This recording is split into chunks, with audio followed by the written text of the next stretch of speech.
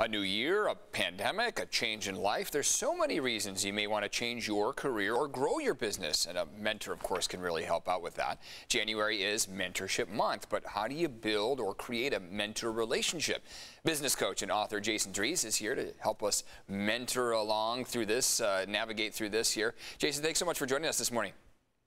Thanks, uh, thanks for the invitation, Eric. Yeah, so tell us a little bit about uh, the benefits of mentorship. I mean, there's got to be a benefit, right, for the, the mentor and the mentee, I would think, right? Absolutely, right? For the mentee, it really allows us to get more done in less time, right? Because mentors are experts typically in something you want to do. So learning from their strategy can save you time and make things happen faster. As a as the actual mentor, it's also a powerful experience as well because when you actually take the time to slow down and help and, and contribute back it creates an opportunity for reflection and that really helps us really grow and expand even more in the future. How do you make that connection? Um, is it just people that may be friends of yours already or do you actively go out there and, and, and seek that mentorship well, that's a good question, you know, because when we think about mentors, we think like, okay, I need to follow, I need to get the guy who's got 10 million Instagram followers, right? But the, the reality is, anybody who's done something you want to do can be a mentor. And mentors are all around you. So the number one way to, to, to start finding a mentor is to simply engage in your community and and you may have multiple mentors because one mentor may be very skilled at one specific thing so most people don't realize they're all around us. Does that change if you're looking for, say, like a new career? A lot of people have left their their uh, their jobs for new opportunities. You've you've heard, you you no doubt are familiar with the Great Resignation that's happening here. Yeah. Um, so so where can these people go um, to help find a mentor that can help them with this new career adventure? Yeah, if you're you know if you're in a small business, you know there's a chamber of commerce is a great way. Um, you can also go to meetups or networking events. If you're at a higher level of income and performance, there's networking groups you can pay to be a part of. Like GoBundance is one I'm actually actively a member of.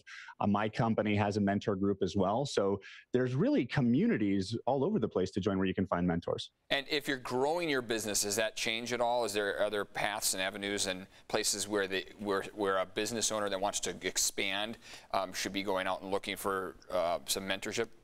Yeah, you know, again, I'm I'm part of a program called GoBundance because it puts me in a in a peer group with other people at my level who own businesses as well. But I would say business owners, if you're not at a high enough level of income, you know, if you're not over a few million dollars in income, the best place to go is your local chamber of commerce. That is one of the places I started when my business first started growing, and there's a ton of opportunities for mentors in there.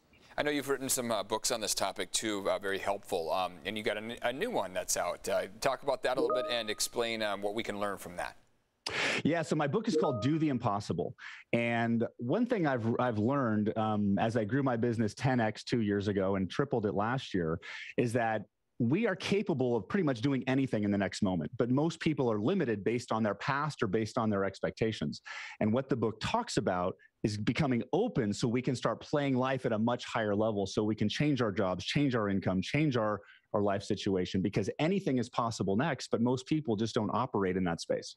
That's part of this too is the mindset you have right? Being uh, positive optimistic and um, not closing any doors. I mean talk about that the the the, uh, the mindset people need to have if they want to grow and they want to expand well, that's fant- that's the big piece, right? Because what we don't realize is that we are creating our reality. Like you, if you have wake up and you have happy thoughts, you're going to have a happy day. If you wake up and have fat, sad thoughts, you're going to have a sad day. And what we don't realize is that we're literally recreating our limitations over and over and over again when you start to understand how to shift your mindset, which is really like your expectations, you actually start thinking differently and you start taking different actions and you start getting different results. But so it all comes down to mindset. A lot of times, um, people's career success is blocked by their own doing, right? It's not necessarily all the hurdles or the speed bumps along the way. How, how are we blocking our own career paths?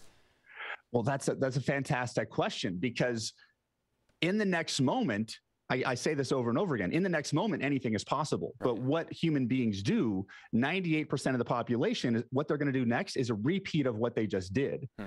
And what and the biggest place that most people struggle is that when they set goals for the new year, they're setting them based on the past, right? Like, what did I do? What do I want is a goal based on last year. Mm. Instead of asking themselves what is impossible or what is it or what is possible or what is impossible. So really thinking bigger will start to push you. But the challenge that people run into as you start to think bigger, any part of your past that's not in alignment with that comes up for integration. So you've got to do the personal growth to expand. And that's where a lot of people get stuck. All good things to keep in mind, especially uh, with the start of the new year here. Jason, where can people learn more about your book and more about you?